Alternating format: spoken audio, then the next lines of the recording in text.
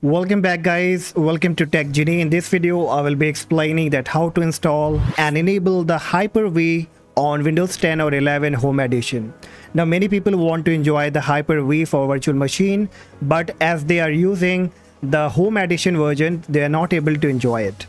And even many people who have the Pro version, they are also not able to get this Hyper-V option. So what exactly happened when you click on your Windows search, type Hyper-V it gives you the suggestion to turn Windows feature on or off. And when you click on it, and here when you search for the Hyper-V, you don't get the Hyper-V version. Alright, so how you can enable it? I will be sharing a very simple method that you will have to apply that is very easy. And then after a simple restart, the Hyper-V will be enabled on your Windows 10 or 11. Now before starting, you just need to make sure that the virtualization has been enabled on your computer.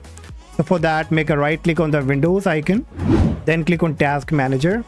Now in the Task Manager, when you click on the Performance option, so you can see on the right hand side, it says Virtualization Enabled. So this option should be enabled.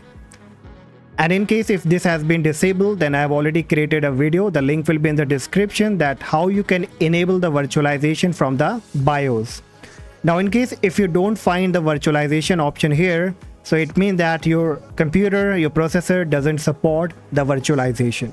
Alright, so once you are done, next what you will have to do, you will be getting a code in the description. This kind of code you will be getting. Now you can read this code. This is a small script that is to enable the Hyper-V and we will be also running the DISM scan to fix any kind of problem. Alright, so copy this code, open your notepad, paste it once pasted, click on the file, then click on save as, and then you have to rename this as hyper-v.bat. Then you can save it to anywhere like on your document or wherever you want to, then click on save. Once saved, you have to go back to the document or wherever you have saved and you will find this kind of bat file has been generated. You can see it's Windows batch file. So once you get it, just make a right click on it, choose run as administrator, then click on yes. Now this command will be running and it may take about a minute or two. So you will have to wait here. And once it will be completed, it will ask you, do you want to restart the computer now? So you have to press the Y key from your keyboard and the computer will now be restarting.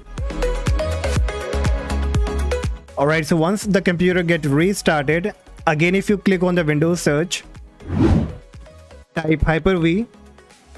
So you will see the Hyper-V manager. So it has been enabled and if I click on it, I can also use it. So you can also quickly install and enable the Hyper-V on your Windows 10 or 11 home version by just following these few simple steps. So hopefully guys, this video will be helpful for you and if yes, do not forget to like and subscribe and I see you in the next video. Bye bye.